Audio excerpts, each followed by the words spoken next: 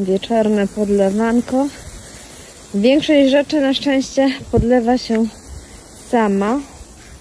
A mi zostały tylko te donice. Nie wiem o co chodzi z tą margaretką. Chyba nic z tego nie będzie. Prowadź figa, prowadź.